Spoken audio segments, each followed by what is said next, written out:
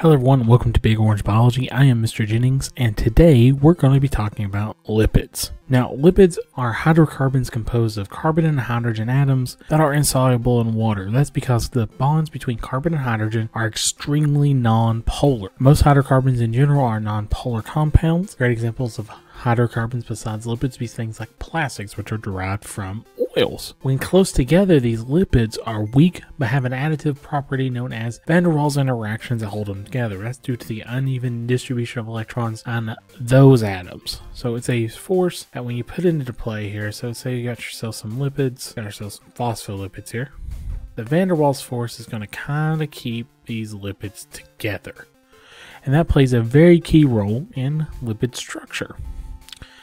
Now, lipids themselves' primary function is to store energy, specifically in the bonds between the two, between carbon and the carbon-hydrogen bonds. Now, lipids can also play a very big structural role in cell membranes. These are our phospholipids, as I mentioned a second ago, and they can also provide structural overall adaptation support as in the form of fat in animal bodies for thermal insulation. Now, the chemical storage property, most of us are familiar with lipids being as a primary energy storage molecule.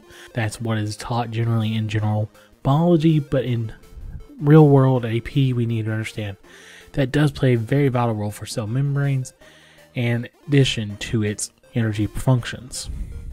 Now, your typical energy based lipids are known as your triglycerides. These are the lipids that you probably think about when you hear the word lipid. These are commonly are the fats and oils.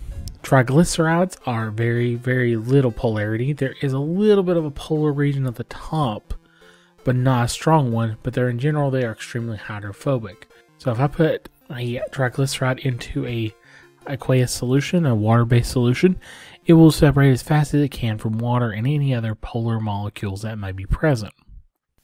Now, triglycerides are made of, structurally speaking, three fatty acids. Now, fatty acids are non-polar hydrocarbons that have a carboxylic, carboxylic acid group on the end.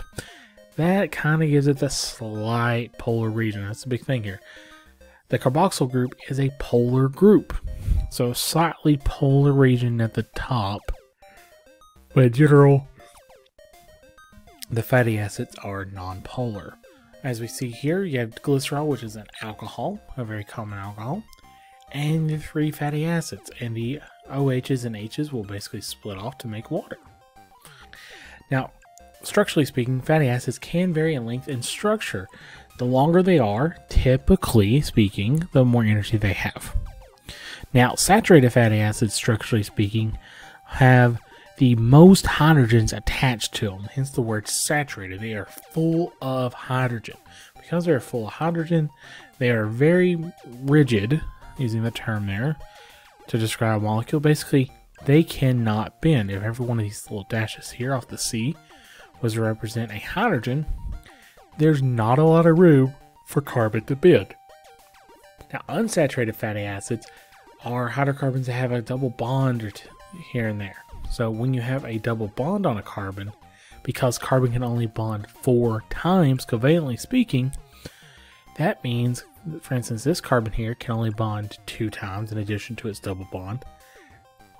And this carbon can only bond one time in addition to its double bond, and it's linked to the other carbon. This creates a situation where there's less resistance and space being taken up by hydrogen.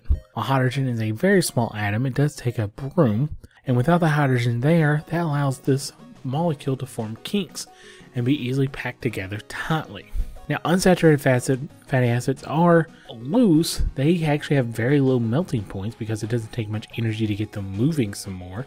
And as such, they're typically your liquids. Here's a great example of what we're talking about though. Look, in the space filling model, the hydrogens are on every single carbon. There is literally no room for this thing to move. If it was ingested, it will stay in this rigid form pretty much the entirety of its time until it's digested properly. Meanwhile, compare it to linoleic acid here. Linoleic acid has these double bonds located. Because of those double bonds, there's less hydrogen in the space filling model, meaning this thing can take possibilities of different forms because the double bond allows the carbons to kind of get some folding going. So it can fold in multiple directions and creates this distinct L shape versus the linear line shape. That's all because the lack of hydrogen right there in the middle. Hydrogen's not taking up space. There's no electron repulsion going on. It's allowing it to flow a little bit better. Now, fatty acids in general, amphipathic, as I mentioned before, has a slightly hydrophobic and a hydrophilic end. Now, phospholipids take advantage of this amphipathic method and take it to another level. Because phospholipids, instead of being three fatty acids, are two, with a phosphate group taking the place of the third fatty acid when it binds to the glycerol. Now, the phosphate group, because it is a negative charge, it makes that part of the molecule even more hydrophilic. So pretty, it takes what was already there and makes it more pronounced. So the phosphates over here, phosphate's got a slightly negative charge, is a polyatomic ion, a very common polyatomic ion. And this is what we usually would represent with a solid head with two tails. This is your traditional phospholipid. This molecule here plays a key role in cell biology. This molecule is the literal boundary for your cell. Without this molecule, certain molecules could travel through the cell membrane, and that would cause a lot of difficulties for homeostasis.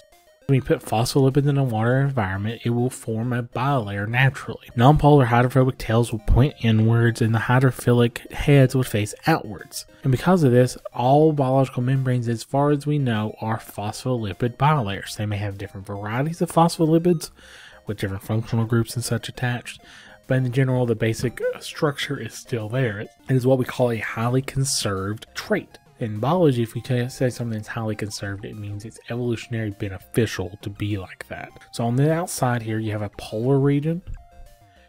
On the outside and the inside, but in the middle, you have a big old non-polar region. What that's going to do is it takes makes it going to be very difficult for polar molecules to pass through, and it's really going to be more of something we're going to explore in the future in the next couple units.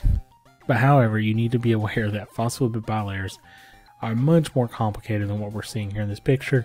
This is a simplistic rendering of the phospholipid bilayer. In conclusion, lipids are more than just energy storage molecules. They are more than just fats and oils.